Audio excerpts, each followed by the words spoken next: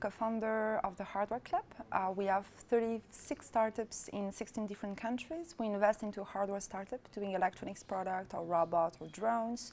And we're based in Paris, Taipei, and San Francisco. Yeah, I believe starting a startups is, is is something great and more and more people need to do it because because it's changing a lot and and and economically there have been like you know some troubles and and really young people the young generation they need to reinvent reinvent sorry jobs and reinvent companies and and Poland is actually a very good place I believe to start your own company.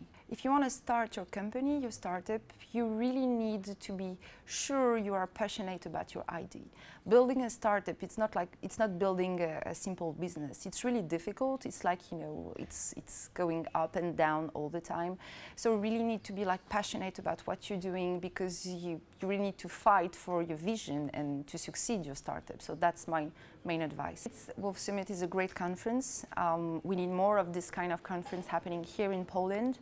Uh, there have been a lot of people like from many countries coming here and that's great to have, him, to have them here in Poland and, and I'm very proud of that because I'm also half Polish, so I'm very happy to come back to my home country.